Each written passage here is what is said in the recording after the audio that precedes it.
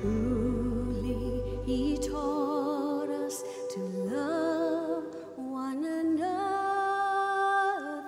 His, law is love, and His gospel is peace. Shall He break.